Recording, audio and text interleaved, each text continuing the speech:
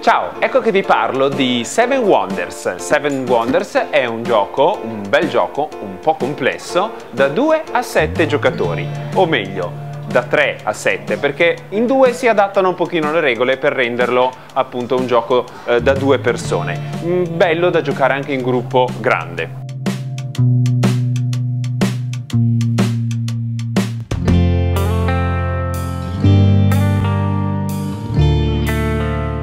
Gioco si compone di varie plance che rappresentano ciascuna una delle sette meraviglie del mondo antico. Le plance sono bifacciali, quindi già è una piccola espansione perché si può utilizzare una faccia con determinati effetti o una faccia che ne avrà degli altri.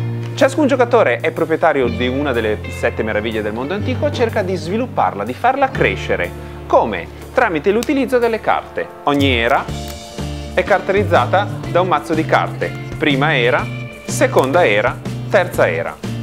Durante la, la partita uno sceglie quale carta mettere in gioco, ne paga il suo eventuale costo e eh, gode dei suoi effetti. Eh, ciascuna meraviglia va sviluppata sotto tanti punti di vista, c'è l'aspetto commerciale, c'è l'artigianato, c'è la costruzione eh, di infrastrutture come i teatri, le università, ci sono quindi tutti i vari aspetti, non dimenticando l'aspetto produttivo perché nella seconda e terza era per costruire delle cose che saranno più importanti, più grandi, tipo le farmacie, tipo le università, sarà necessario una quantità maggiore di materie prime e semi lavorati non solo le, le, posso produrre, ma le posso anche scambiare con i miei vicini che saranno alla mia sinistra e alla mia destra.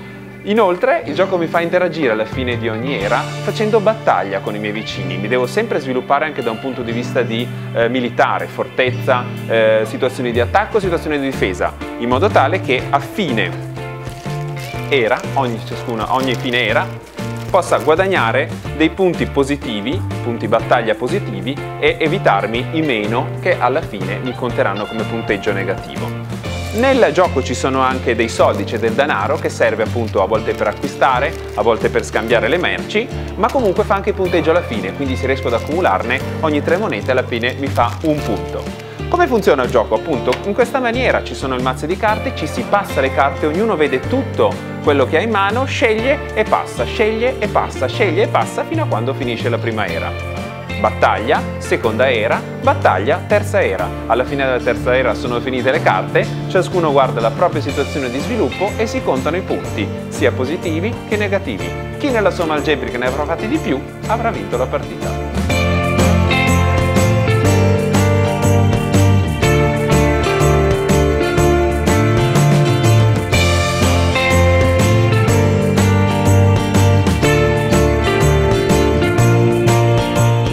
Questo era Seven Wonders e ciao, grazie.